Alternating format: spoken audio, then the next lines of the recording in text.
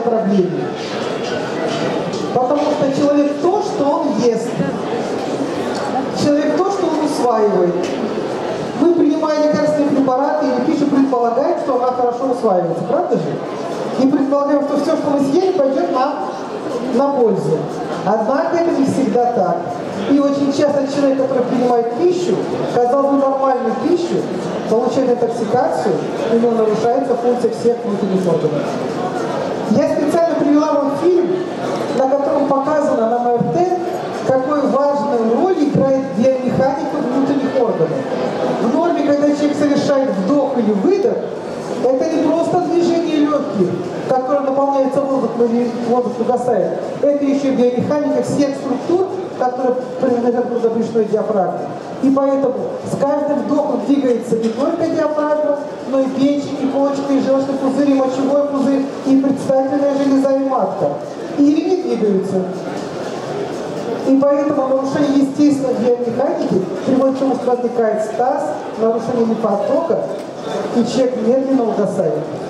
Проблема заключается в том, что до сегодняшнего дня мы не знали, как это узнать, и как этому помочь, как это препятствовать, как это предотвратить. И сегодня мы рады с вас познакомить с новой технологией, которая позволяет восстановить нормальную активность вистеромоторных и мотовистеральных рефлексов. Презентация. Презентация.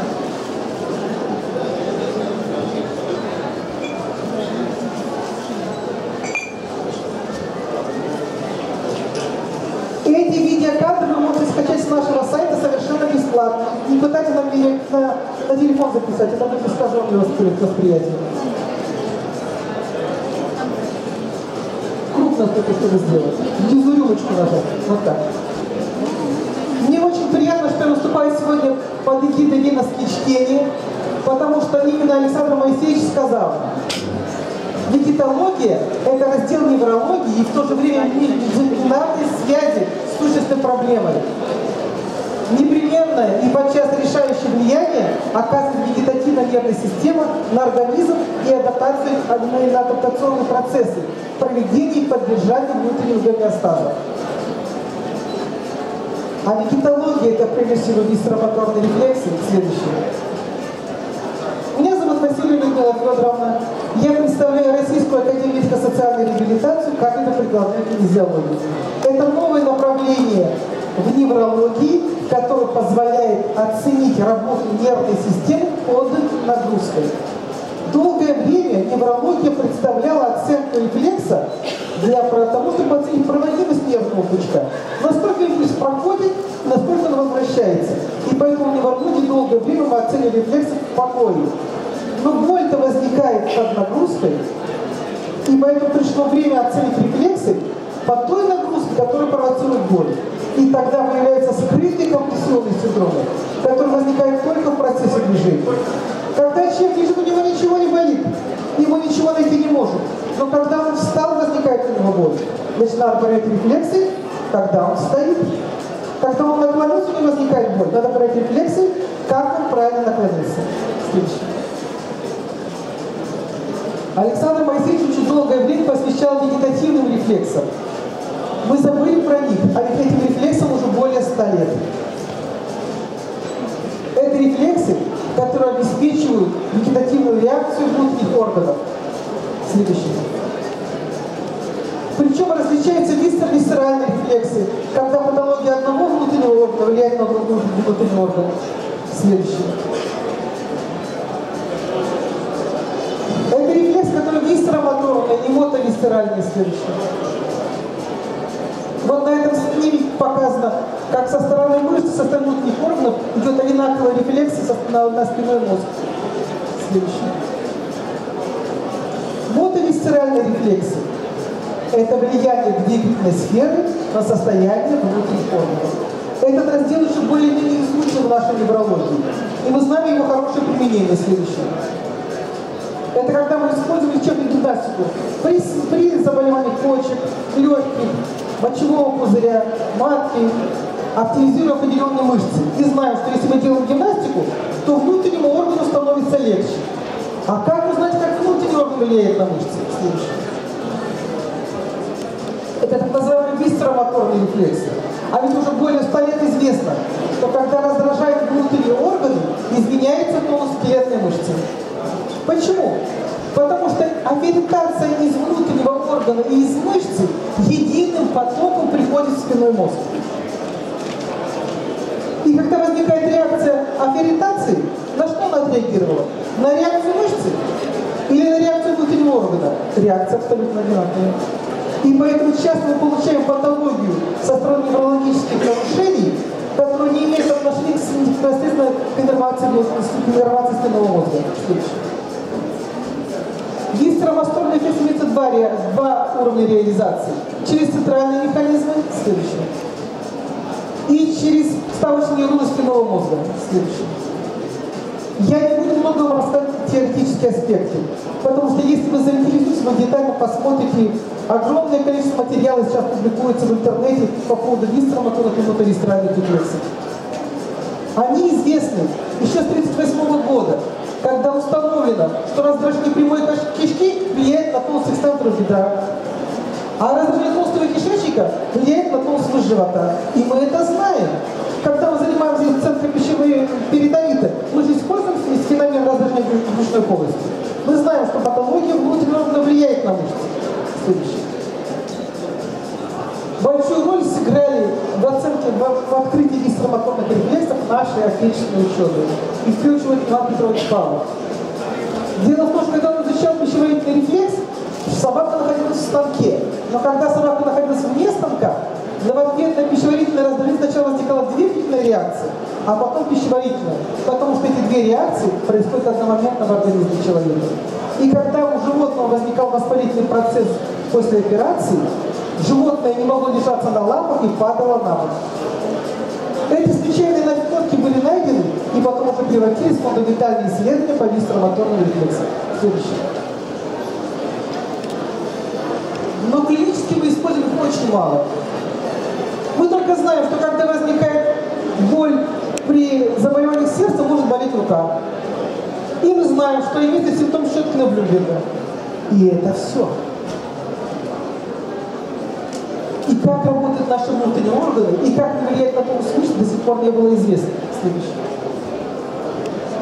А ведь посмотрите, пожалуйста, многие внутренние органы и конкретные скелетные мышцы имеют общий уровень иннервации. И поэтому, несомненно, патология определенного внутреннего органа влияет на конкретные мышцы. И этим исследуем уже более 100 лет. Но они не в наших руках. От того, что эти есть связи, нам не холодно, не жарко. И это печально. Следующее большую роль в реализации клинического гистроматонных регрессов сыграл Николай Александрович Бенштейн. Он открыл, что когда человек совершает движение, в любом выполняемом движении имеется две фазы. Следующее. Первая фаза – это произвольно выполняемое движение. Оно предназначено для выполнения быстрых, произвольных, кратковременных движений. И оно подвергается произвольной коррекции. Я могу поднять руку сильнее, я могу поднять руку слабее. Это первая фаза мышечного сокращения. Но если вы подняли руку и сохраняете это движение хотя бы 3 секунды, следующее, наступает тоническая фаза, непроизвольная, когда наступает уже, не нарушает, когда возникает повышение тонуса. И эта сила реакции нам не, подча, не подвластна. Следующее. Когда у человека нарушается вторая фаза сокращения, во время движения появится такой полидарный тремор, который записан Николаем Александровичем Эйнштейном. И вы сегодня его реально увидите, как мы будем выявлять следующее. Как проявляется нарушение тонической фазы сокращения? Оно проявляется в нарушении статики. Ведь когда мы стоим, мы не анализируем, как мы стоим. Почему одно плечо поднято, а другое опущено? Почему одна нога впереди, другая нога сзади? Кто нами управляет? Нами управляет тонус, который нами бессознательный. То есть есть структуры, которые влияют на тонус и вызывают изменения разное состояние мышц. Когда одна мышца имеет повышенный тонус, а значит повышенную возбудимость, а другая мышца имеет пониженный тонус, значит повышенную возбудимость. Следующее. Я хочу вам показать мою любимую, самую любимую картину. Ее подарил профессор Леев, когда еще был жив. Чем она красива? Посмотрите, какое огромное количество ориентаций идет. Из кожи, из сосудов, из мышц, из внутреннего органа. Огромное количество единым потоком входит в мозг. На что ответила мышца? На кожу, на сустав, на саму мышцу, на внутренний орган до сих пор неизвестно. А мы пытаемся с этой мышцей работать.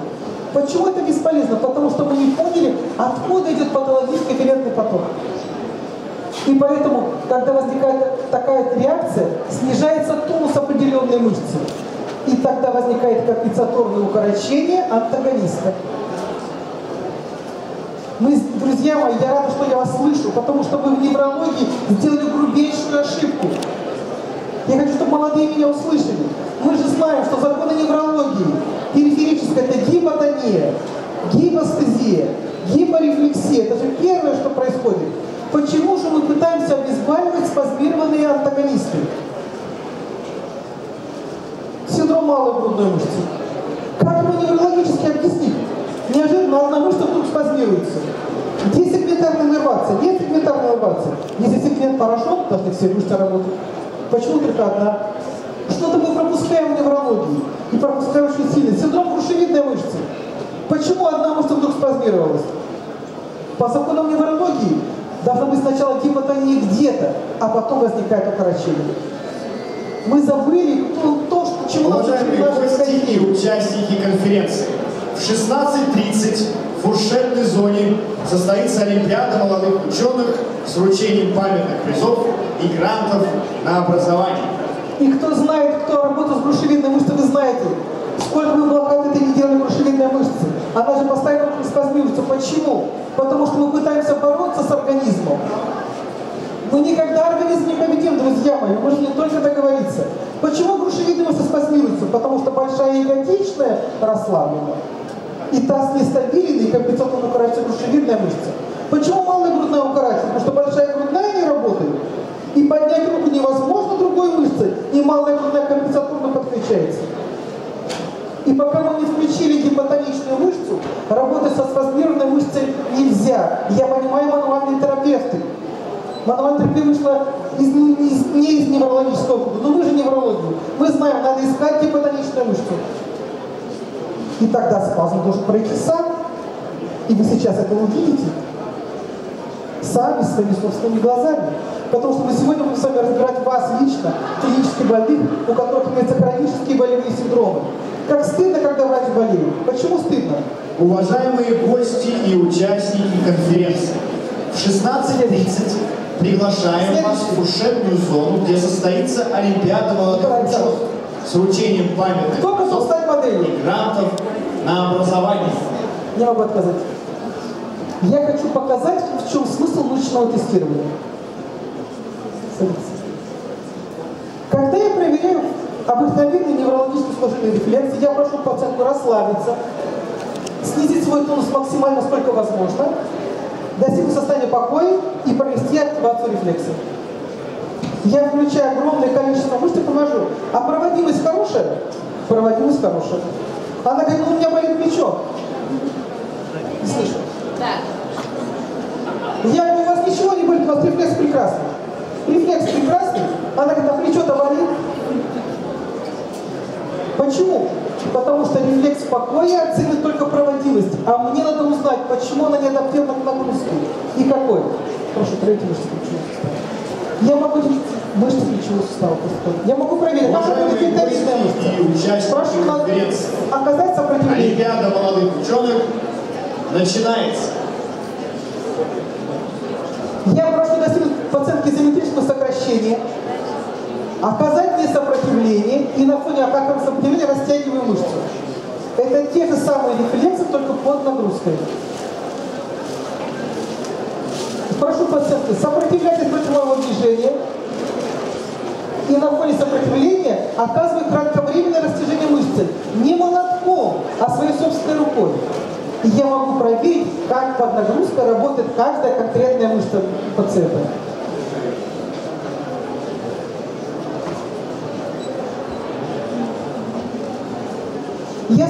Ромбовидную, дельтовидную, большую грудную, малую грудную мышцу, подлопаточную. надосную, подосную, и нахожу, что у нее есть конкретная мышца, какая? Какая видно? И нахожу конкретную мышцу, которая не выдержит нагрузки. У нее снижен тонус мышц, фиксирующих лопатку сзади. И поэтому возникает перегрузка мышц, которые фиксируют лопатку спереди. Но она же это не знает, она говорит, у меня болит плечо. Я не слышу. Ай-яй. У меня болит плечо. У меня не имеют руки, у меня атрофия возникает мышц. Пальцы сгибаются, невозможно двигать. Что делать? Рефлекс успокоит.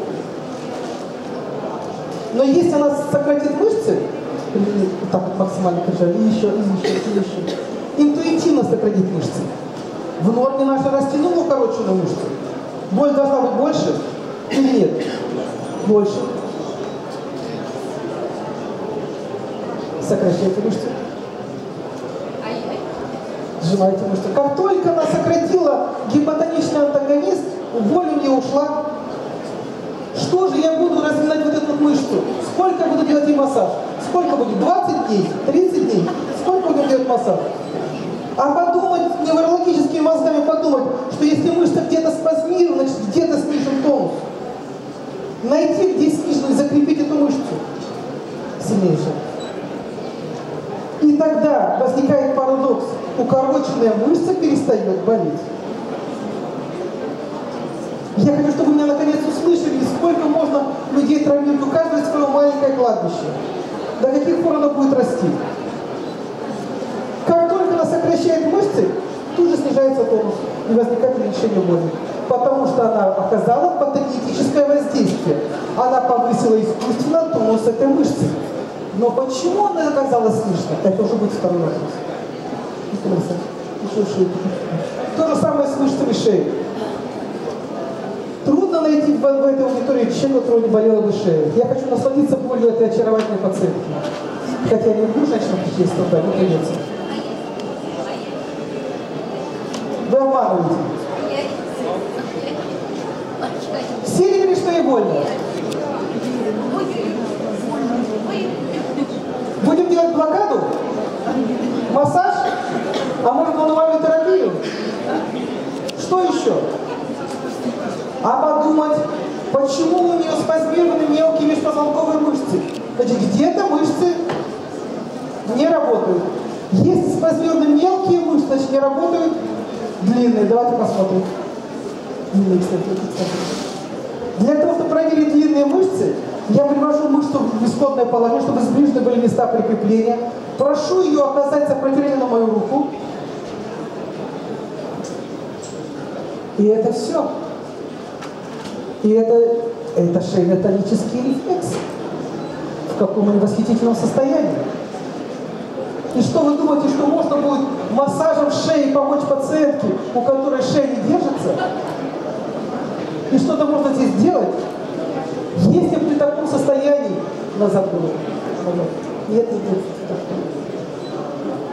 Если при таком состоянии экстензора мы будем что-то делать на уровне мелких мышц, это не будет патогенетическая основная терапия. Это будет симптоматическое лечение, когда мы с иголкой бегаем за телом пациента. Что надо сделать, чтобы снять эту боль? Постабилизировать, пожалуйста. Уважаемые коллеги, почему я немножко отвлеклась от своей темы? Потому что если у вас имеется гипотония длинных экстенсоров, мелкие позвонковости всегда будут укорочены. И наиболее частая причина – это нестабильность мест прикрепления. А длинные экстензоры прикрепляются на уровне грудного отдела позвоночника, где и проходят ромбовидные мышцы. И возникает замкнутый круг. Не работает ромбовидная мышца, укорачиваются малые грудные мышцы. Не работают длинные экстензоры, укорачиваются межпозвонковые мышцы, усиливается компрессия нерва. И поэтому очень часто, когда мы не понимаем, что мы делаем с пациентом, мы только ему вредим. Ведь как люди говорят, будем лечить или пусть живет? Вам смешно? А ведь это же страшно. Мы все, каждый из вас боится заболеть. Почему? Потому что мы не знаем, выкоррекция мы или нет. Только почему? Потому что мы отошли от основ. от того, что при заболеваниях нервной системы возникает сначала гипотония, гипостезия и гипорефлексия. Посмотрите, пожалуйста, две секунды мы проработали места прикрепления мышцы. Я хочу проверить, насколько экстендеры стали хороши.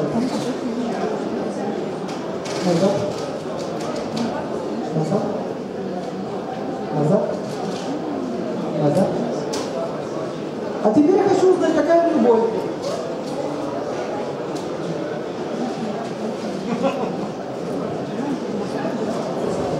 Что вы делали с ней эти долгие годы? Зачем вы делали ей блокаду? Зачем вы делали массаж? Когда нужно было просто восстановить тонус гипотоничных мышц. Друзья мои, пожалуйста, услышьте меня. Пришло другое поколение, пришло другое время, пришли другие врачи. Нельзя лечить пациентов так, как лечили в прошлом веке. Новая медицина пришла. И если вы не успеете сориентироваться, вы отстанете. Следующую презентацию. Следующий слайд. Где? Где, где? Сергей Евгеньевич. Следующий. Следующий. Следующий. При исследовании при динамометрии было выявлено, что, когда у пациента снижен тонус, первая фаза прекрасная, но нет вот этой вот выносливости, возникает вот такой порог. В норме при каждом здесь следующем замедлительном сокращении мышца только увеличивает тонус. Когда тонус снижен, сила достаточно на первой фазе, но нет выносливости мышцы. И поэтому снижается рефлекс, потому что мышцы снижается тоническая составляющая. Следующее. То же самое уменьшается количество нервных импульсов. Следующее. Как это проявляется в клинике? Здесь представлена тономиография человека, который совершает экстензию. Он поднял ногу. Как вы думаете, какой ногой человек должен поднять ногу? Большой ягодичная мышца. Это основная мышца, которая поднимает ногу назад. Видно ли маленькую электромиографию? Вот так человек поднимает ногу, поднимая назад. Он включает разгибатели спины, но не включает большую ягодичную мышцу. Как вы думаете, что у него будет болеть? У него будет болеть спина. И мы эту спину разминаем, растягиваем, не понимая, что пока мы не включили большую ягодичную мышцу, растягивать перегруженную мышцу мало эффекта. Следующий. Оказалось, что агонисты каждого из движений, совершаемых человеком, имеют связи с определенной конкретной мышцей. Следующее. Наверное, для желудка это характерно большая грудная клетичная порция, для поджелудочной широчайшая мышца спины, для прямой кишки экстензор, для толстой мышцы квадратная мышца поясница. Я не, не говорю, я прочитала быстро эти схемы, потому что не все у нас есть методично. Я просто хочу показать, как это работает на практике. Следующее.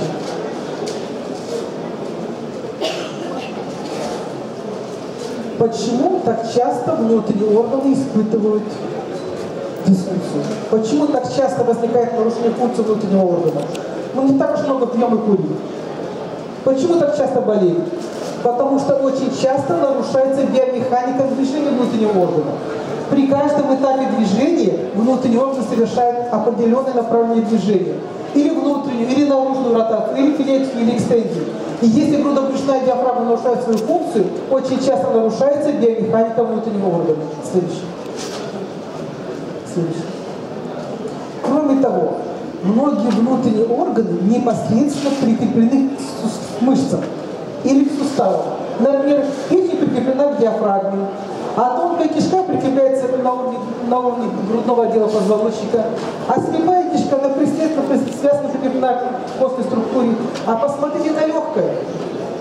Какое огромное количество связок фиксирует легкое к трахеи, к позвоночнику. Видели, какое огромное количество связок? А почки вообще лежит на iliopsoas. И поэтому снижение тонуса пояснично-подвздошной мышцы приводит к тому, что возникает нефроптоз. Только снижение тонуса мышцы. А посмотрите на сердце, как оно как Иисус Христос распятый, между грудиной и позвоночником. И поэтому любое нарушение тонуса мышц не только рефлекторно влияет на внутренние органы, наоборот, но и непосредственно как контактные ассоциативные связи следующие. Какая клиника у висцеромоторных рефлексов? Клиника очень необыкновенная. Это те же болевые синдромы, которые не провоцируются статодинамическими нагрузками. Они не изменяются в положении сидя, стоя, лежа. Они зависят от приема пищи, от какого-то времени своего происхождения. Например, только ночью или болят только в какое-то конкретное время. У меня был пациент, который говорит, я не завтракаю, потому что если я позавтракаю, у меня болит спина. Я подожду 11 часов, позавтракаю и полежу, чтобы спина перестала болеть. Поэтому возникает гипотония мышц, рефлекторно связанных с внутренними органами, и возникает спазм мышц антагонистов, и возникают компрессионные синдромы, которые ничем не могут купироваться. У каждого из вас есть пациент, которому вы не смогли помочь обычными методами. Почему? Потому что патогенез может связан не с сегментами спинного мозга, а с висцеромоторными рефлексами. Следующее. Например, при патологии печени и желудка очень часто снижается тонус большой грудной мышцы. И тут же возникает спазм малой грудной мышцы. Возникает боль в плече, возникает компрессионный синдром. Но очень часто, если причина связана с висцеромоторным рефлексом, то механическое смещение внутреннего органа приведет к изменению ситуации. И мы сегодня вам покажем, как это можно будет проверить. Следующее. Человека с патологией внутреннего органа можно всегда увидеть издалека. Большая ягодичная мышца отражает функцию матки и предстательной железы. И если у человека имеется смешение репродуктивной системы, гипотония большой ягодичной мышцы. И пациент поднимает ногу не большой ягодичной мышцы, а мышцами спины или укорачивается пояснично-подвздошная мышца. Если видите, что пациент при, при ходьбе поднимает ногу вместе с тазом, что это, скорее всего, проблема связана с репродуктивной системой. Следующий. Следующий. Если у пациента возникает боль при подъеме ноги, очень часто нарушается функция тонкого кишечника. Страдает прямая мышца живота и, и, и прямая мышца бедра. И тогда пациент поднимает ногу другими мышцами. Он говорит, я не могу поднять ногу, не возникает боль. Я не могу встать на лестницу, не возникает боль. Посмотрите, как он поднимает. Если он включает не мышцы живота и прямую мышцу бедра, а другие мышцы, которые включаются компенсаторно, он получает боль в том месте, где располагается компенсаторно укороченная мышца. Если пациент поднимает руку при помощи косых мышц живота, у него будет боль, больше боль под ребром. А если помощи доктора будет боль водосинтеза. А если будет больше включаться коленный сустав, то будет включаться мышца коленного сустава. Важно не то, что у человека имеется боль, важно, что ее провоцирует. Потому что боль возникает в тех мышцах, которые компенсаторно перегружены. А как узнать, что не перегружено? Человек скажет то движение, которое провоцирует боль. Я не могу стоять, у меня возникает боль. Где проблема? Стопа, на которых он стоит. Я не могу сидеть, у меня возникает боль. Где проблема? То место, он стоит в области таза. Я не могу наклониться, у меня возникает боль. Где проблема? Тех мышцах, которые должны включиться, когда он наклоняется. Если пациент при наклоне испытывает боль в пояснице, надо не поясницей заниматься, а мышцами, которые должны включиться при наклоне. А это мышцы живота, это дисфункция тонкого кишечника. Нельзя вылечить боль в спине, которая возникает при наклоне туловища, если вы не включите мышцы живота. А ведь надо проверить, как они еще работают. Поэтому очень часто, посмотрев только на пациента, как он сидит, вот как вы сидите, как вы двигаетесь, можно уже предположить, какой из внутренних органов у вас страдает. Следующий. Следующий. В чем заключается гинекологическая диагностика? Следующее. Первое. Мы пальпируем мышцу, которая рефлекторно ассоциирована, связана с внутренним органом. И она дает исходно сниженный тонус. Второе. Следующее. Мы провоцируем тот внутренний орган, с которым эта мышца связана. И если у человека нарушена биомеханика движения внутреннего органа, возникает рефлекторная реакция, и мышечный тонус повышается. И исчезает боль, с которой человек пришел. Это не лечение, это только что диагностика. Если движение внутреннего органа постоянно тонус гипотоничной мышцы, то компенсаторно спазмированной мышцы боль будет исчезать. Таким образом подтверждает, что та боль, с человек прошел, пришел, имеет генез висцеральный, а не сегментарный. Следующий. И тогда проводится висцеральная терапия в соответствии того направления, которое необходимо. Ко мне подошла девушка и сказала, что она была у Гудновского, кто, кто знает Гудновского? И сказала, что у нее возник спор. Когда делать упражнение на вдохе или на выдохе? Одни говорят на вдохе, а он говорит на выдохе. Друзья мои, все необходимо проверить. Для одного патологии является вдох, а для другого патологии является выдох. Мы все разные. У нас нет никакого общего универсального механизма, который бы всем помогал. Каждому нужно отдельное свое лечение под контролем биологической обратной связи собственного тонуса мышц. Что и сейчас мы хотели бы показать. Итак, первый пациент прошел. Кто был первый пациент? Кстати. Кого первого смотрели?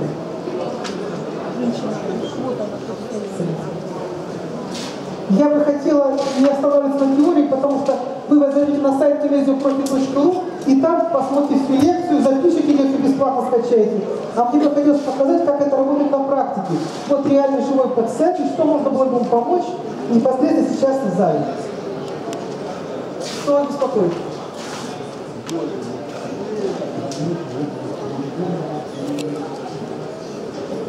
Ко мне пришел пациент и говорит, у меня сильно болит шея, одной область груди, другой области сердца, где еще вы поставили? Я сразу спрашиваю, что вашу боль провоцирует? Что провоцирует? Что вашу боль провоцирует? Когда становится больно? Когда сидите? Когда ходите? Когда двигаетесь? Когда спите? Когда кушаете? Пациент говорит, у меня сильно болит шея и плечо, но никогда я хожу, и никогда я сижу, и никогда я работаю. Я прекрасно нагружаю свою руку, и она у меня не болит. Это не статодинамическая нагрузка, это уже не позвоночник. Я могу спокойно наклонить голову в разные стороны, у меня не болит. Она болит только когда я лежу. Это же парадокс. Что-то происходит в положении лежа, что раздражает и нарушает функцию мышц плечевого сустава. Такого пациента шейного отдела мало эффективно. Почему? Потому что не движение шеи вызывает боль в руке.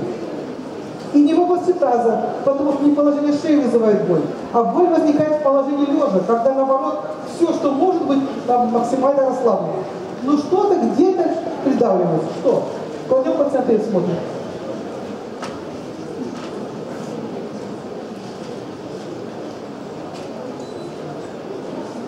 Почему я его сразу располагаю? Я располагаю его в том положении, которое у него вызывает боль. Он к этому положению не адаптирован.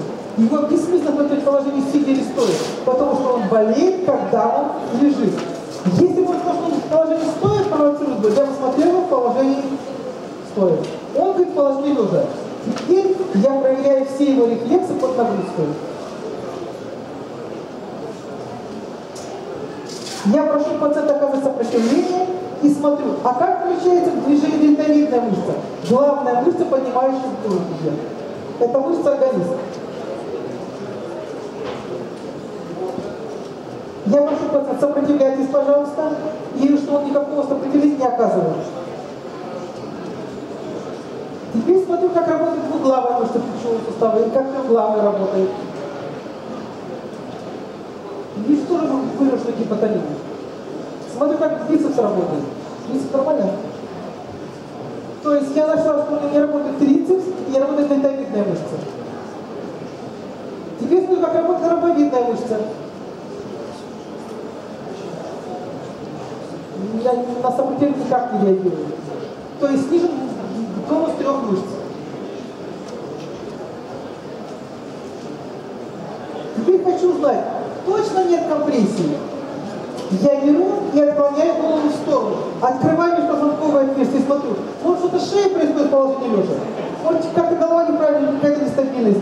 И смотрю, что-то изменится в положении открытия межпозвонкового отверстия.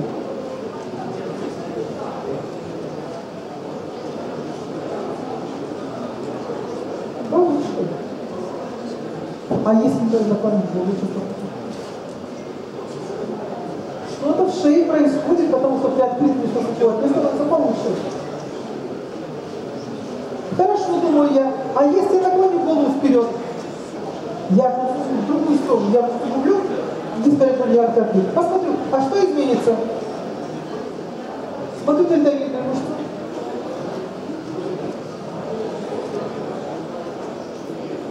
мышцу. Гипотония резко увеличивается.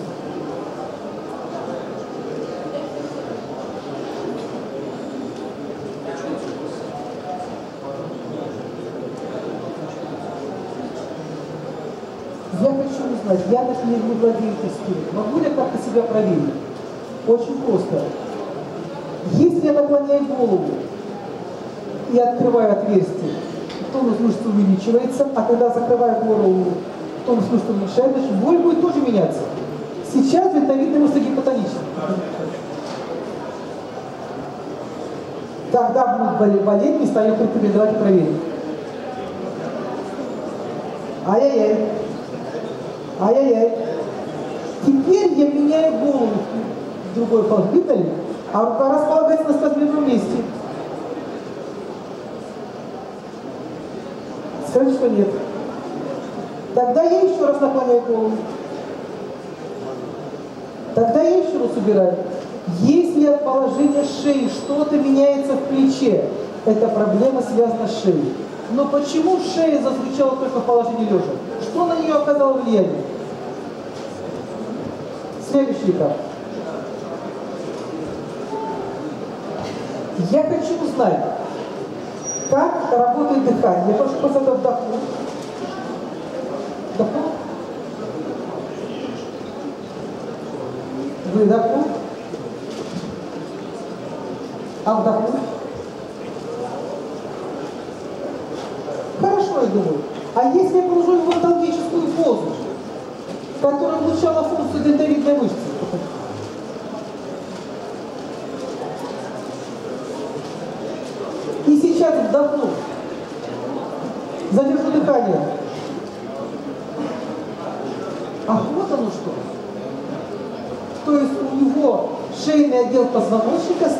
потому что он нарушен паттерн вдоха. А во время дыхания мы же глубоко дышим, и поэтому возникает постоянно компрессионный синдром. Но почему при дыхании возникает такая реакция? Почему мышцы так напряжаться в дыхании? Когда не работает грудовочная диафрагма. Чем лежит ниже животом, а он каждый раз поднимает плечевой пояс вверх. И я должна разобраться, почему ему для совершения вдоха вдохните нужны мышцы плечевого пояса. Что происходит с грудобрюшной диафрагмой? Что она не выполняет свою функцию, а заставляет его постоянно поднимать плечи.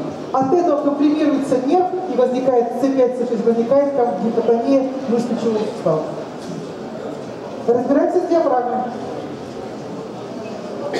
Коллеги, я не быстро говорю, как вы?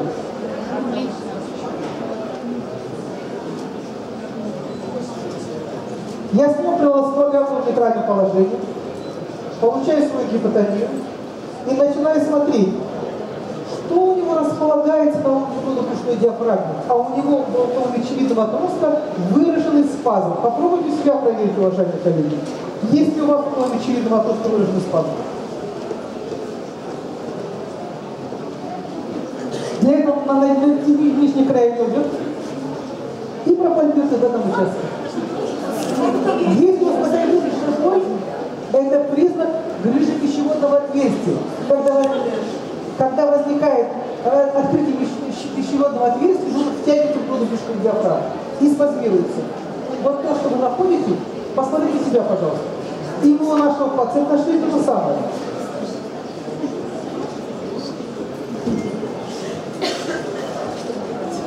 Друзья мои, в норме ничего не больно. Ничего не больно. Не больно, да.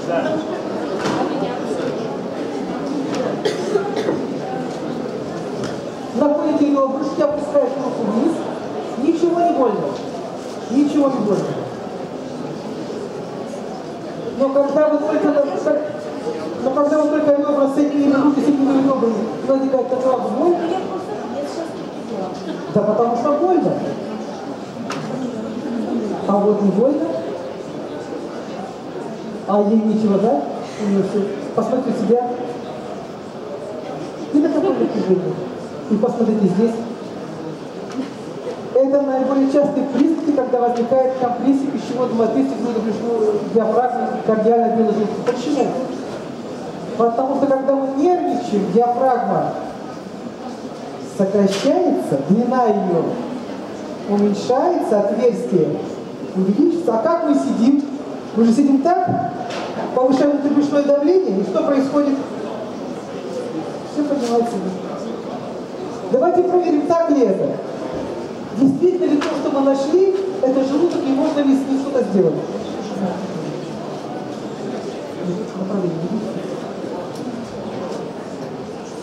Я начинаю смещать желудок и смотреть, а можно по этому, по этому, а, это добавить. Я смещаю желудок, туда желудок, каудально, и проверяю, как работает мышца. А если в другую сторону?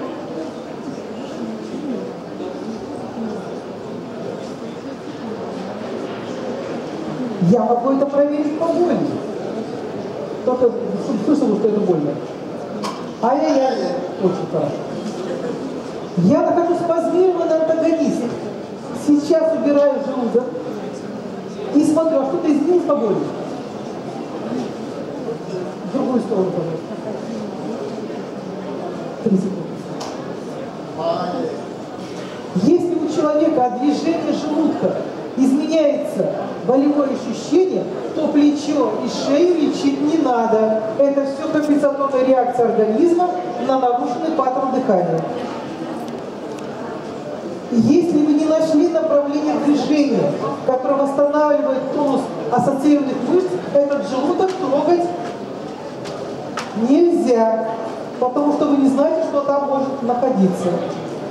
Вы должны срочно человека отправить на исследование. Поэтому, друзья мои, для того, чтобы вылечить боль в плече и боль в шее, мне не надо работать с плечом и шеей, надо проработать с желудком. Как проводится лечение? Очень просто. И тут все написано. О семье, любимых, побеспокойтесь, пожалуйста. Уж там ладно, кто бы другой. Рука располагается основанием ладони, вывоз мечевидного отростка. Видно ли? Оказывается каудальное движение. И человек совершает вдох, и довольно-таки потихонечку вытягивается. Или можно попросить человека покашлять, чтобы было более активное движение. И с каждым выдохом желудок опускается вниз. Если вы долго просидели, пропощупайте мочевидный отросток, если там в этом месте возникает боль, положили руки и просто покашляли.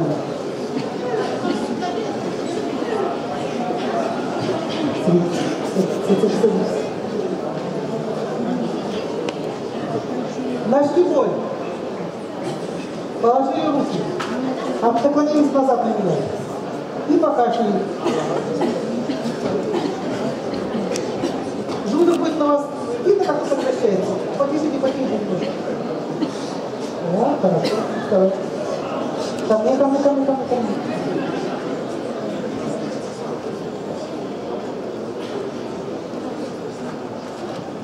Что-то вы ничего не напрягаете.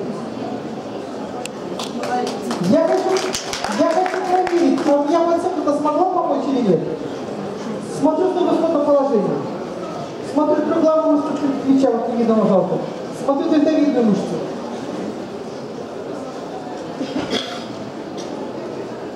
Хорошо, думаю, тогда я спровоцирую дельтовидную мышцу. Помните, у него, у него наклон головы провоцировал?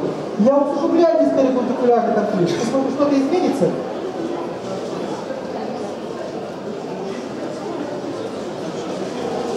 Что-то недостаточно.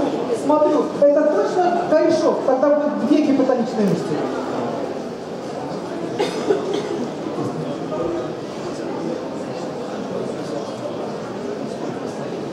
Я хочу узнать конкретно, кто такой.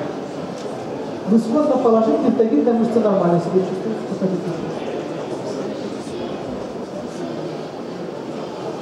Я хочу знать, а все ли в шее? Я наклоняю голову и ищу топически по сегментам иннервацию, покажу всю иннервацию. И смотрю. С- С7 остановилась. Да.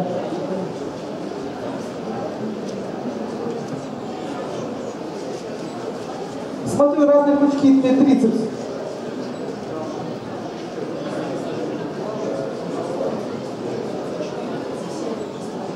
Трехглавая ромбовидная мышца у нас восстановилась, 47 восстановилась, осталось C5, C6. C5, C6 сохраняет гипотонию.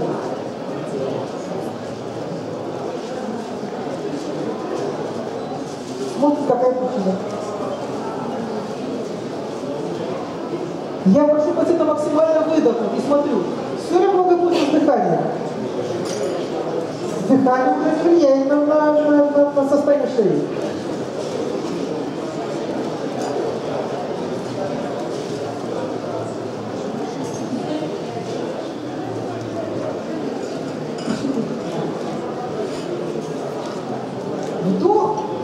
У пациента уже никакой реакции нет, но и идет реакция на выдох.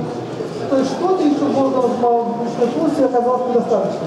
Теперь, провоцируя дельтовидную мышцу наклона головы шеи, я механически смещаю разные органы. И смотрю, что осталось. Потому что очень часто, когда фиксируем длительное время желудок, укорачивается связка между желудком и печенью. И у кого-то как оказалось песочная экспрессная связка. Теперь мы оказываем на нее лечебное воздействие через тонус дельтовидной мышцы, через контроль. Опять-таки направление движения посмотрим под, под контролем неврологического теста. Потому что поднимаем желудок, изменяется состояние внутренних органов. Очень точная топическая диагностика по каждой связке конкретного внутреннего органа. Хотя пациент не жаловался ни на органы брюшной полости, ни на желудок, ни на печень. Только жаловался, что постоянно, уже многие годы болит плечо, и он как невролог кому только к друзьям не обращался. Ничего не помогало.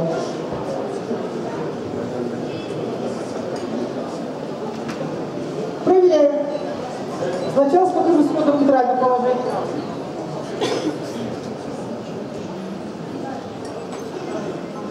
Теперь наклоняем голову максимально, проверяем. Вот таким образом могу проверить. Вы не могли говорить остальные сразу по пальчикам, остальные нет. Сохранился, да, положение лежит. Я могу проверить и туннельные синдромы. Уже, только вы не могли бы как-то встать вот так. Вот так.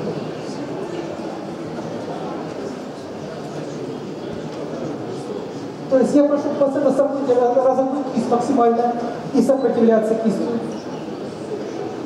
И прошу пациента оказать несопротивление.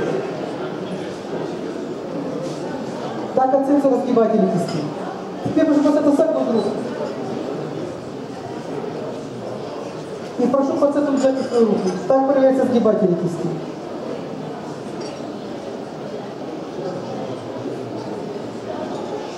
Пациент немножко нервничает, не может понять, что нужно сделать.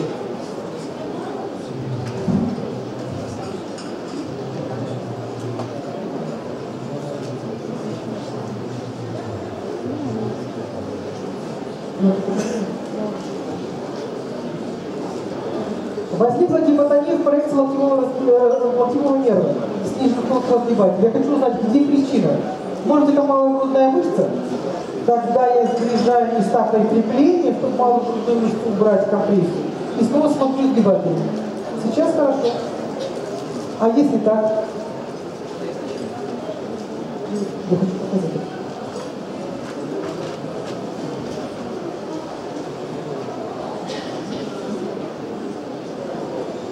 Локтевой сустав расслабить.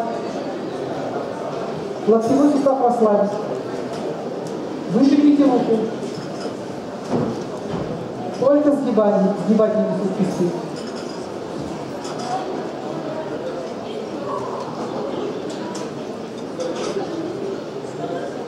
Но когда человек сгибает руку максимально приближенно, тонус мышцы восстанавливается. Когда сближаем места малой грудной мышцы, тонус мышцы восстанавливается. То есть сохраняется еще туннельный синдром довольно малой грудной мышцы. Опять-таки проверяем сгибание.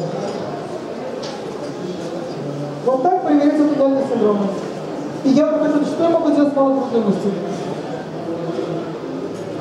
Например, вот его нет, я сказал. Теперь как, как можно привести до компрессии? Что можно сделать? Часто, когда длительное время малая грудная бывает укорочена, возникает не просто мышечное укорочение, возникает фасциальное укорочение. И в этом случае необходимо оказать фасциальное растяжение волокон малой грудной мышцы. Потому что его компрессия локтевого нерва возникала только при растяжении руки, когда возникает максимальное натяжение фасциальных волокон. Таким образом, через желудок мы восстанавливаем тонус агониста мышцы, а через фасциальное растяжение мы растягиваем фасцию укороченной малой грудной мышцы, убирая скрытые туннельные синдромы локтевого, лучевого и срединного нерва.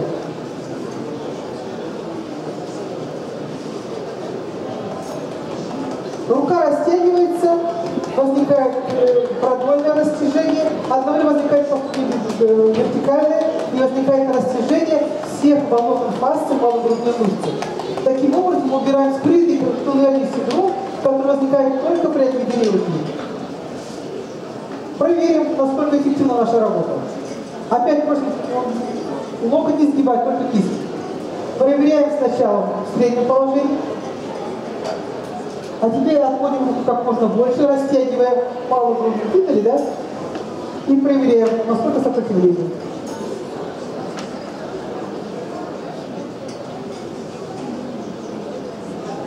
Вот таким образом проверяется состояние нервной системы. Теперь проверяем боль. Как боль? Как боль? Как боль? Наклоняю голову, усугубляя радикулярный конфликт. Как боль? Сажу пациента. Присаживайтесь. Усилию гравитационную нагрузку. Снова смотрю, как боль. Что? Вот так просто оказывается воздействие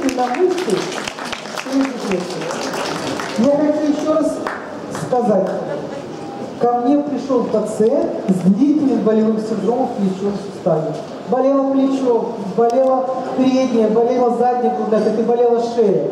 Долгое время безуспешно пытался лечиться обезболивающим противовоспалительным массажем физиологическим прогреванием.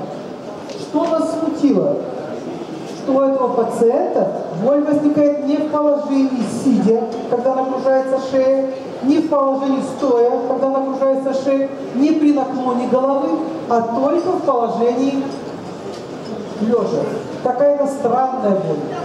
Мы не стали искать в положении сидя, мы его сразу положили. Как только мы его положили, мы проверили сразу основную мышцу, организм плечевого сустава, дельтовидную мышцу, и она дала сразу гипотонию. Я хотел узнать причину. Может ли не увеличена шея? Я открыла межпозвонковое отверстие. Это было видно?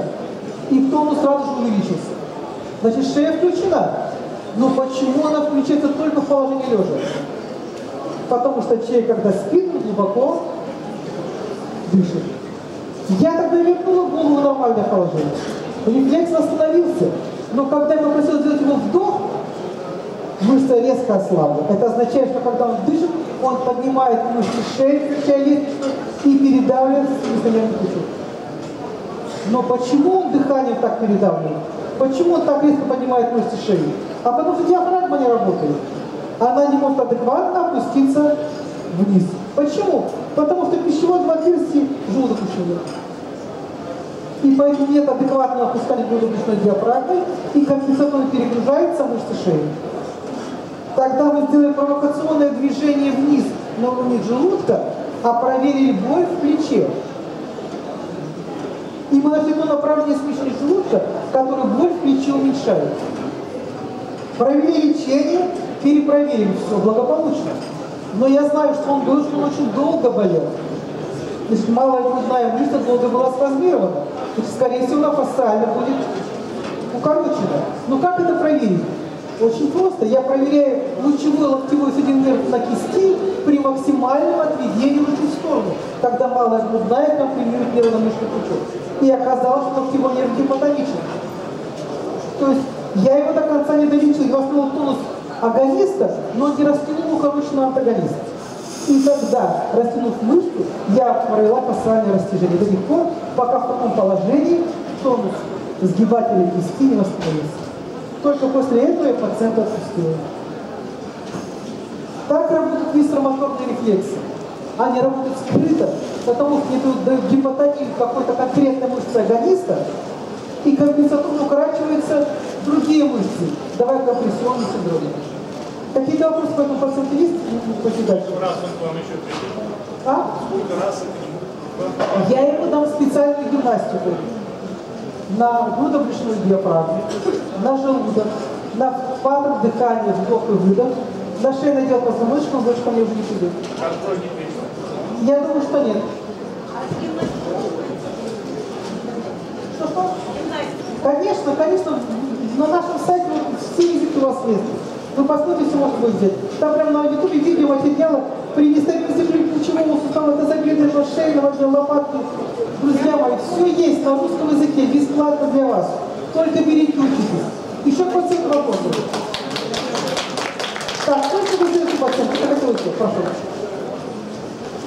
Сколько у нас время? Кто скажет? Еще, еще железа,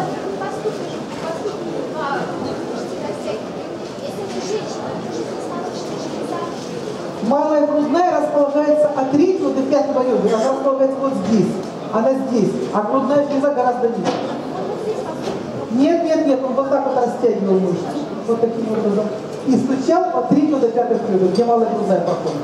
Третье, пятое ребра и остаток лопатки. Здесь опирается молодежная мышца. В этом идет ценность, потому что именно она компримировала сосудистый пучок, который давал скрытый туннельный синдром. Просто они не проявлялись в покое. Они проявились, когда, когда человек отвел руку в сторону, и тогда возникла гипотеза. Какие еще вопросы были по поводу по пациента? Так, слушаю вас. Молодая красивая женщина страдает постоянной болью в межлопаточной области. Что провоцирует? Какие? Алло. Боль возникает и стоя, и сидя, и лежа. Она не может назвать тот фактор статодинамической нагрузки, который провоцирует боль. Это очень подозрительно. Если компрессия нерва идет, то всегда есть какое-то положение шеи, которое компрессию усугубляет. И есть какое-то положение шеи, которое компрессию уменьшает. Моя пациентка говорит, что моя боль ни от чего не зависит. И стоя болит, и сидя болит, и лежа, да если неловко полы ляжет, еще больше болит. Еще что беспокоит?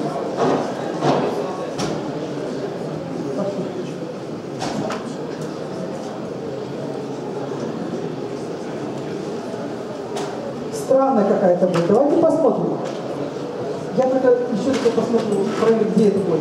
Это боль здесь. Паравертебрально выраженный резкий болит, резкий спазм длинных разгибателей спины и резкий спазм сумки. Почему я уверен, что больно? Потому что когда гипопатическая зона не работает, сухость возникает в других местах прикрепления и всегда возникает в таком настроении. Это очень частая проблема, особенно у наших детей, у которых постоянно устает спина. И ребенок, он говорит, я не могу сидеть, у меня болит спина. Посмотрите, как вы все сидите. Вы все сидите, наклонив голову, спиной опираясь на что-то. Никто из вас не сидит прямо. Обратили внимание? Нас даже мысль не приходит мысль, что надо сидеть, держа свою спину. Мы все пытаемся что? Это, представляете, это разгибатели спины.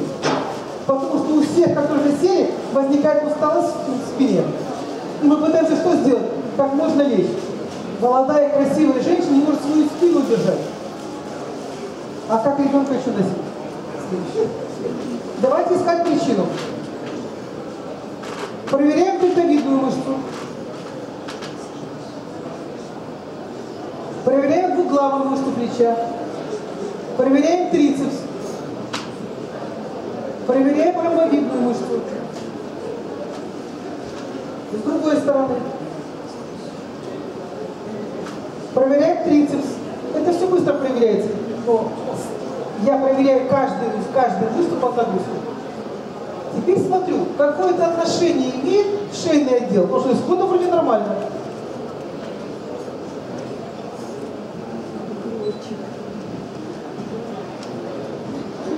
Все благополучно? Смотрю с другой стороны.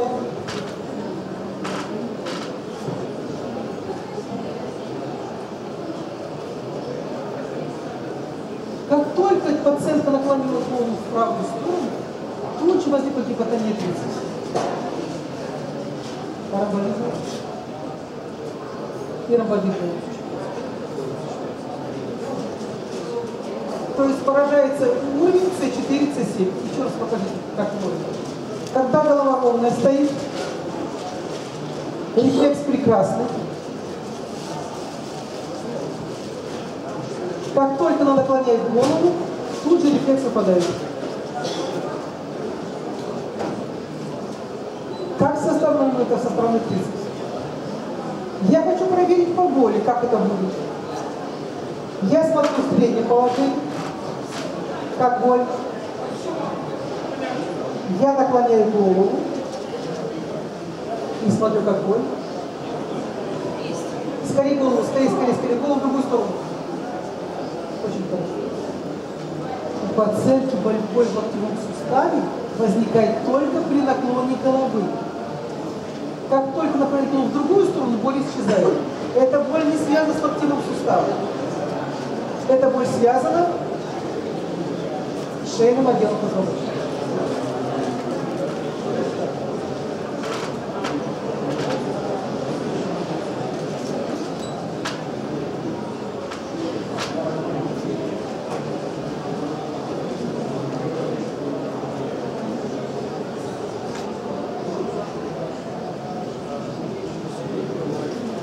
Теперь проверяем, а как работают мышцы при компрессии пучков при наклоне головы в левую сторону. И то же самое выпадает ромбовидное.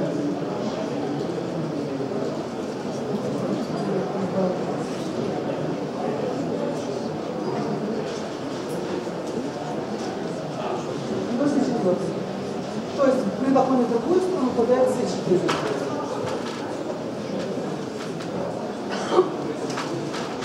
Теперь я хочу узнать, какая-то связь есть с жевательной мускулатурой. Потому что очень часто, когда у человека нарушается жевательная мускулатура, он включает в движение своей речи мышцы, головы, мышцы шейного отдела позвоночника. Не поднимает, не открывает рот, не опускает челюсть, а открывает рот и поднимает голову.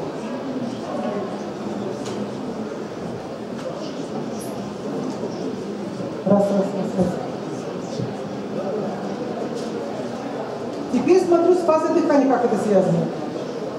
Я прошу сделать вдох и сделать выдох.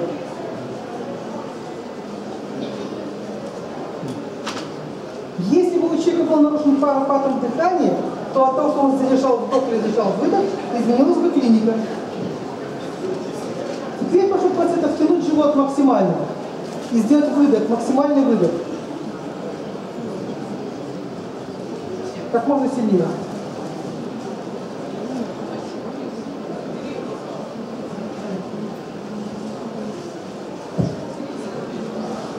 Но у пациента вдруг восстанавливается рефлекс.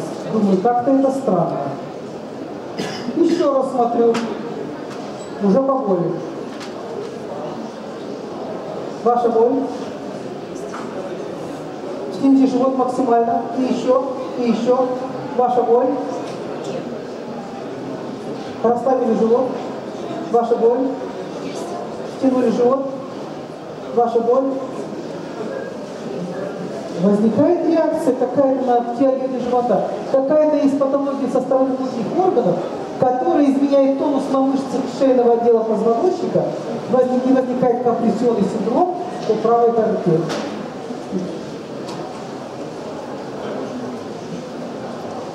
Располагает пациента положение лежа, будем искать. Что же она пытается напрячь, когда натягивает мышцы живота, что улучшает функцию шейного отдела позвоночника? Это может быть и кто с матки, и кто с кишечника, и кто с почки. Давайте узнаем, что произошло. Я снова нахожу гипотонию и хочу обратить ваше внимание, что эта гипотония сохраняется в положении лежа. сохраняется. И теперь начинаю смещать внутренние органы. Видали? Я смещаю кишечник в разных направлениях. Я смещаю тонкий кишечник, смещаю толстый кишечник и смотрю, есть ли какое-то положение в ее теле, которое восстанавливает ее рефлекс. Пока не нахожу. Оказалось, что при смещении восходящего отдела толстого кишечника возникает восстановление тонуса. Хочу проверить по. Беру руку. Ай-яй-яй. Или нет? Смещаю толстый, восходящий отдел толстого кишечника. Ай-яй-яй. Боль исчезает.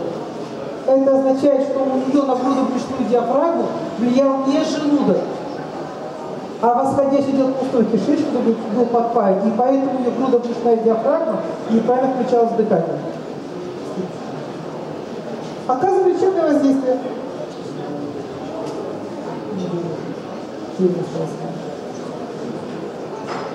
Теперь проводится элементарная висцеральная терапия в том направлении, патогенетически обоснованном, которое мы нашли.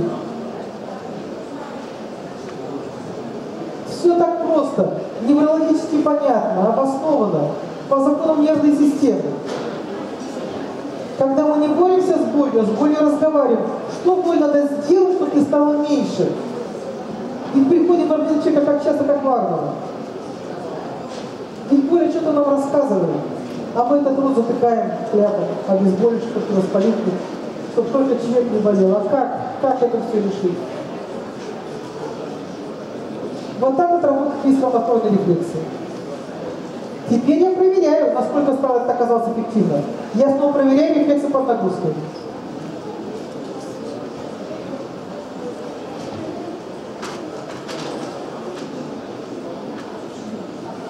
Снова провоцирую компрессию. Видно, что я компрессию? И смотрю, а как работает трицепс? А как работают ромбовидные мышцы? Проверяю с другой стороны. А какая идет реакция? А теперь проверяем боль, с которой она пришла. Боль была в разгибательных спины.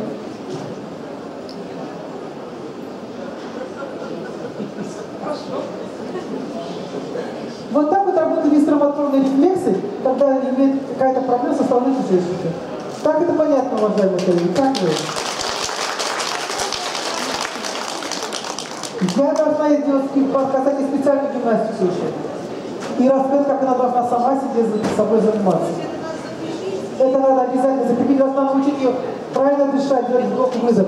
Понять, почему кишечник так среагировал. Может, там есть фасадный, фасадный коллективный. Он работает постоянно человек. Нет, вот когда прям гимнастика по обучению, обучающие цифры, недели, две Мы пациенту даем на виде материал, высылаем ему домой, он посредственно работает. Он знает, что у меня есть слабое звено, восходящая часть толстого кишечника. И я должна постоянно с прор- его прорабатывать. Это пожизненное заключение. Обязательно, обязательно. Можно либо массажером оказывать лечебное воздействие. У нас еще осталось 20 минут, кому-то можно что-то еще посмотреть. Надо проверить, как надо. Конечно. Только надо проверить. Если я...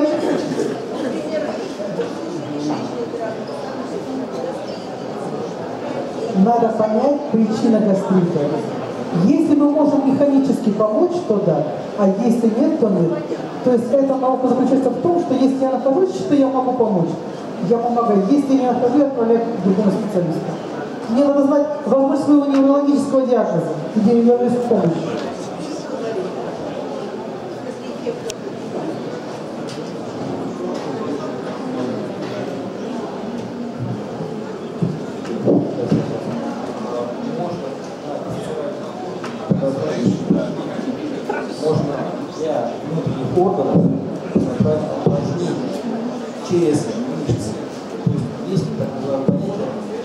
мотовисцеральной связи, которые Виндовичу были, Виндовичу были, скажем так, а, исследованы. То есть нужно на- найти мышцы, которые оказывают рефлекторное воздействие на внутренний орган через сегменты. Ну да, скорее всего, эта мышца будет а, иннервацию получать из того же сегмента, что и внутренний орган. ну, в подавляющем большинстве случаев. И он будет тренировать эти мышцы, будет оказывать воздействие положительное на внутренние органы. Ну, это доказано. Можете работу на Гердовича читать. При любом заболевании.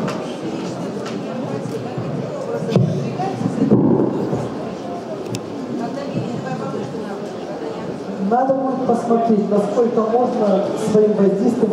У нас нет конкретного, что мы кому-то помогаем. Я посмотрю, я рефлекс могу восстановить своей методикой? Я смогу помочь. Если я не могу восстановить рефлекс, я не смогу помочь. Я могу что-то сказать точно до того, как начинаю лечить. То есть о чем мне конкретно неврологическую тактическую диагностику покажите. Потому что надо понять, почему возникает процесс. Так, прошу, последний пациент. Жалоба. Опять шея. У кого-то спинка, может быть? Вы хотели бы спинку у меня спина.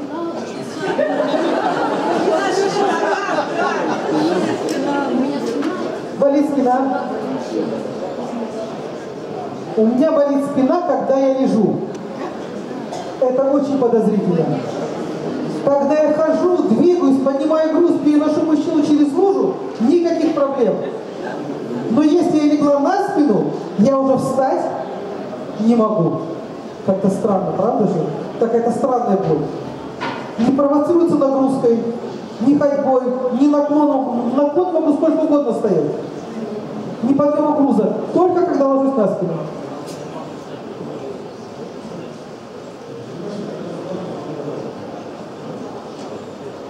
Ну, вы девушка, допустим?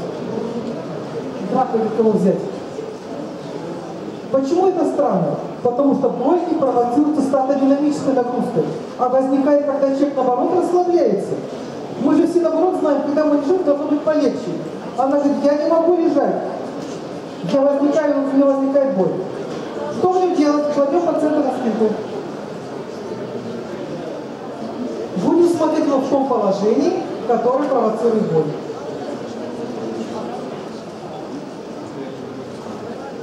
Мы сейчас будем провоцировать все нервные корешки, которые связаны с поясничным отделом позвоночника. Да.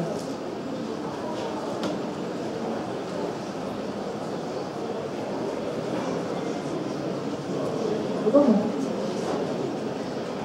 Итак, пациент лег, я начинаю смотреть, как работает его нервная система под нагрузкой.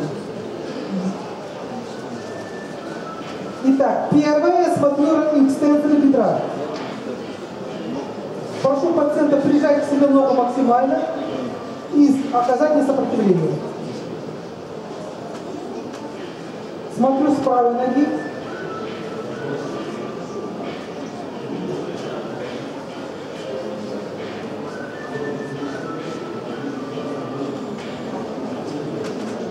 Какая рентология. Посмотрите, что делается. да? Приближаю вторую ножку. Только ногу скользить по кушетке. Экстенсоры в прекрасном состоянии. Теперь я растягиваю группу нервов и смотрю, как на растяжении нервной системы работает. Насколько нерв растяжим. И возникает резкая гипотония. Смотрю, только ли экстенсор бедра стали гипотоничными. Смотрю, и грушевидная мышца не работает.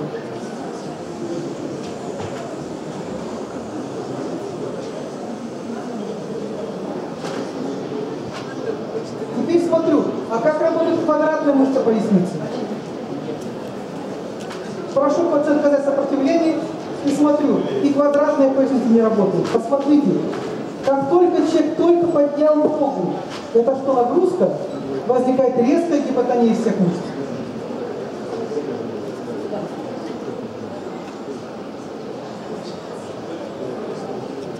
Смотрю, а это проблема только ли поясничного отдела? Когда человек поднимает ногу, натягиваются нервные корешки по всему позвоночнику, включая шейное отдел. Смотрю, а на шею это оказало влияние? Так это оказало влияние еще и на шейное отдел?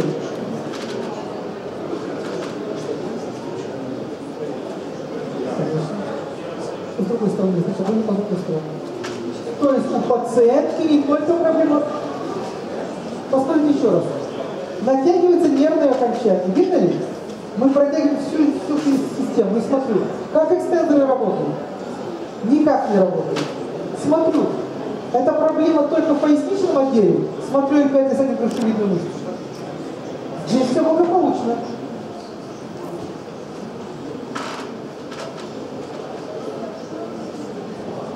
Человек приходит и говорит, что у него болит все, возникает желание отправить к психологу или психиатру.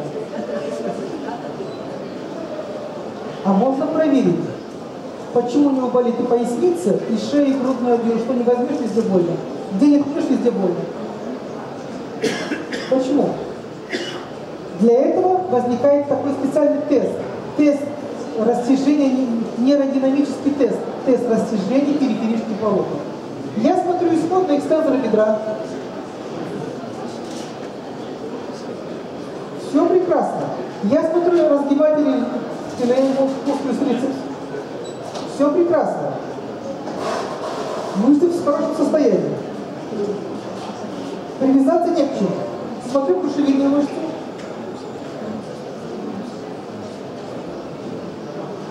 Ногу не бьют, но ногу держите.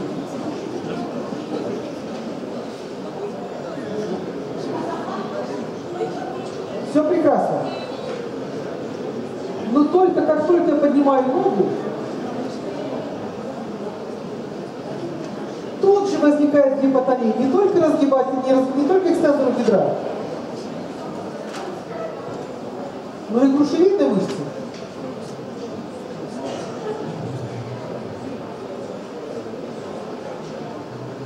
Но и разгибатели руки. То есть проблема боли в поясничном отделе не поясничный отдел позвоночника, а скорее всего шейный отдел. Потому что разгиб, при разгибании ноги выбыли рефлексы все не только на ноге, но и на руке. Это признаки нестабильности шейного отдела позвоночника на уровне C5, C6. Хочу проверить, не ошиблась ли я. Пациент с ведровника с ровной спинкой, с ровным подбородком. Я смотрю трицепс. Никаких проблем. Не, не, не. Смотрю флексоры ноги.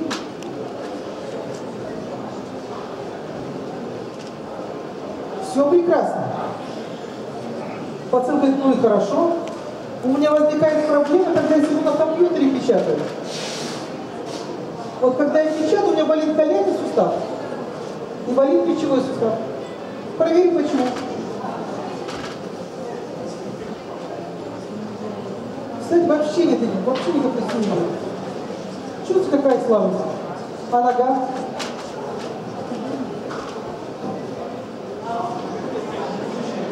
Не жалейте голову. Возникает боль в местах прикрепления. Не слышу. Не слышу. Возникает боль в локтевом суставе, возникает боль в плечевом суставе. Больше здесь, здесь чуть-чуть больше. Здесь и здесь. Поднимаю голову. Выпрямляю. Как боль? Как боль? Наклоняю голову. Только не грудной отдел. Только голову. Посидели немножко. Как боль? Скажите, ай-яй-яй. Как только человек наклоняет голову, возникает боль в плечевом суставе и в коленном суставе. Это признаки функциональной гемигипотонии как результат нестабильности шейного отдела позвоночника уровня C5, C6. Помните, там узкий как раз спинномозговой проход идет канала. И поэтому у человека как болит шея, как болит плечо, как болит спина, так и болит тазобедренные, включая еще и сустав. И все только с одной стороны. Будете помогать мне сейчас? Начинаем смотреть. Я хочу узнать, почему молодой красивой женщины такая нестабильность. Я прошу узнать, это как-то связано с дыханием. Я прошу выдохнуть, не максимально сдержать дыхание. Есть регуляция. Открыть рот. Видите, как она голову поднимает?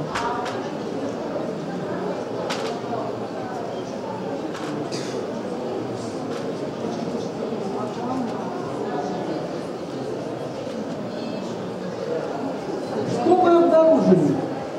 Что мы обнаружили? Как только она наклоняет голову, и возникает снижение всех рефлексов, возникает снижение всех рефлексов, они почему-то восстанавливаются, когда она открывает рот.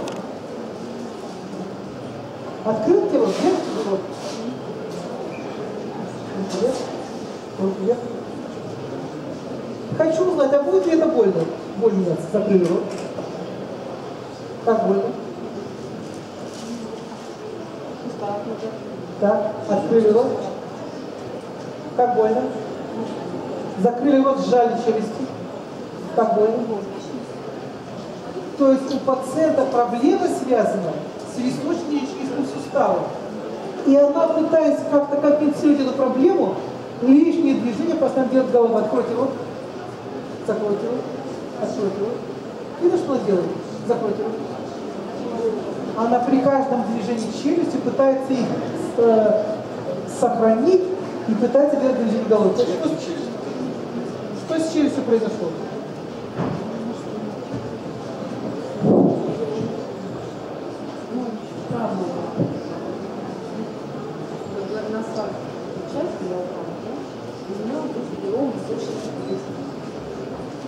То есть у пациентки имеется травма, которая привела к тому, что травму-то восстановили, а паттерном не лечились, никто не занялся.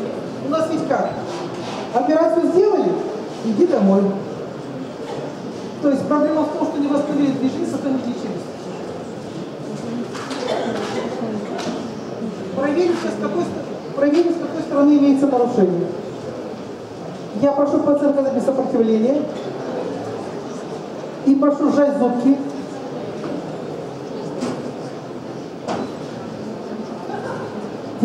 Расслабить челюсть и снова проверим. То есть как только сжимает пациентка зубки, возникает минимизованная слабость по всем мышцам, глобальная гипотония.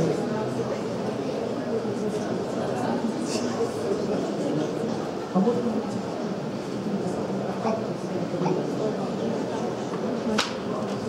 Я хочу узнать, действительно ли так связано високий сустав. Я беру шпатель,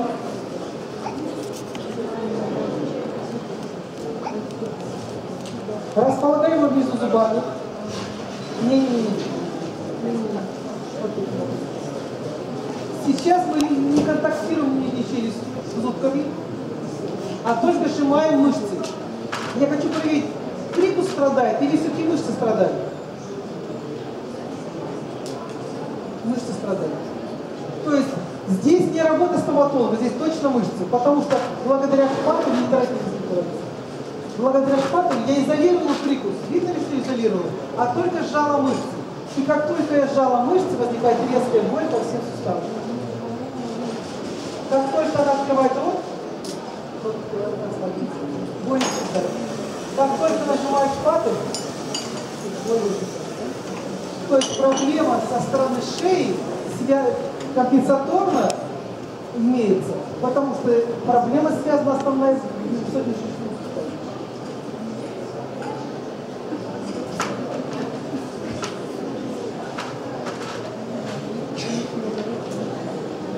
Я прошу каждого из вас открыть рот и проверить свои мышцы жевательные.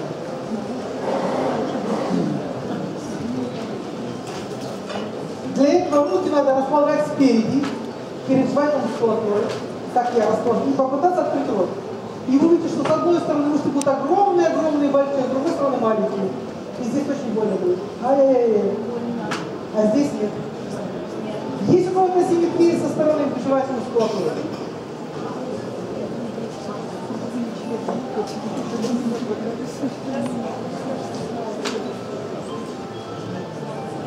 Располагайте руки спереди, как я. Открывайте рот сильнее, сильнее, еще сильнее. И смотрите напряжение с одной стороны и с другой стороны. Вот с одной стороны напряжение больше. Если у вас жевательная мускулатура напряжена с одной стороны больше, чем с другой стороны, то каждым движением челюстью вы травмируете свой челюсть.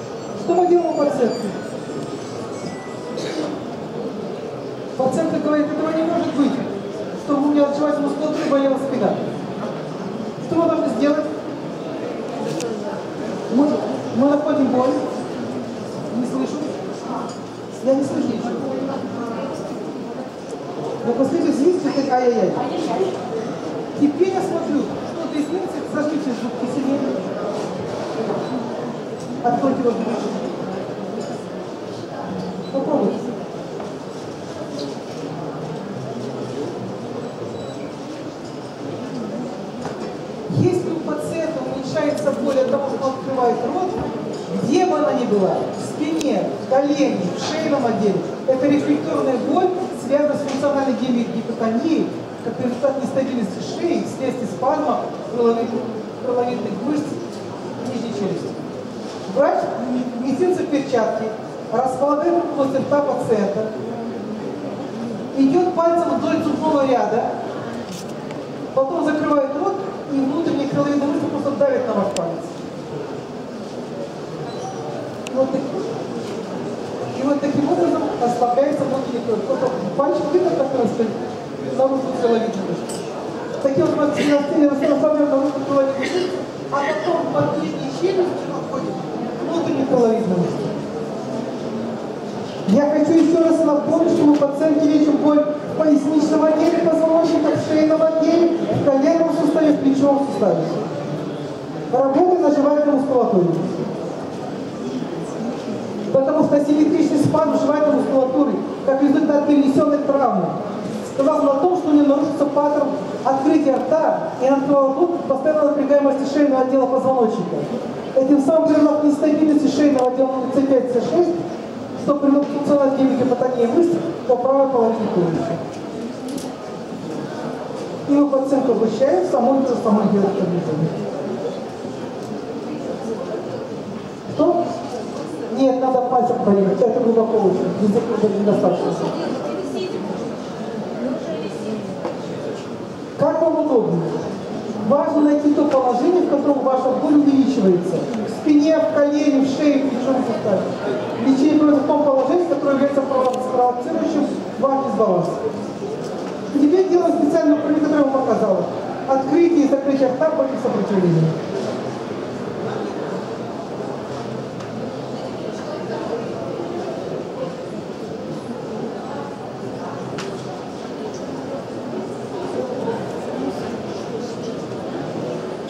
Пациент говорит, «Мне- у меня появилось желание наконец делить челюстью в разные стороны. Ну что, друзья, давайте посмотрим. Да еще подождите, это интересно. Так, смотрим рефлексы под нагрузкой. Дельтовидная мышца 5. Наклоняем голову. Смотрим цеп- э, трицепс. Разгибаем голову. Смотрим флексоры бедра. Поднимаем ногу. Состояние на опущенной головы, состояние стабильности. А теперь смотрим положение лежа, о котором о котором я говорил. Ложитесь, пожалуйста.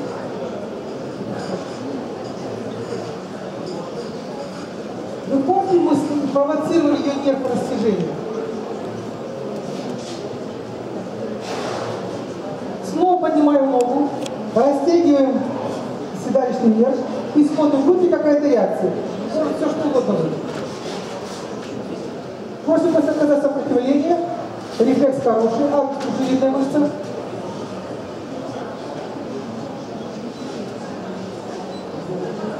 А раздрив мускул плюс трицепс. Помните, у меня была гипотония на эту реакцию? А дельтовидная мышца. А теперь насладимся ее болью. Помните, например, говорила, что боль была у него? Не слышу. Вот так, очень легко, очень просто. Можно оказать патогенетически значимое лечение.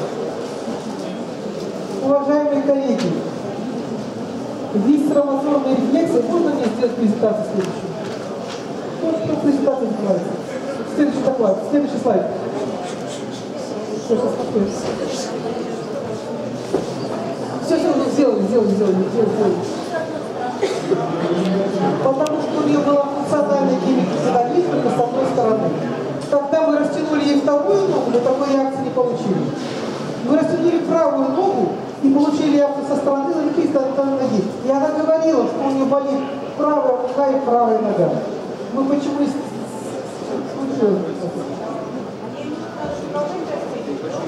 Ей нужно сначала упражнение на стабилизацию сустава, потом шейного отдела позвоночника, потом грудо-брюшной диафрагмы, а потом есть специальная гимнастика, называется нейродинамика.